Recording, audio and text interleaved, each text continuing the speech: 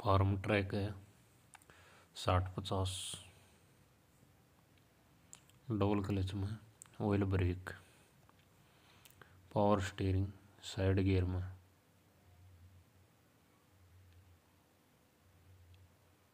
ये भी हुआ हुआ हिमाचल में।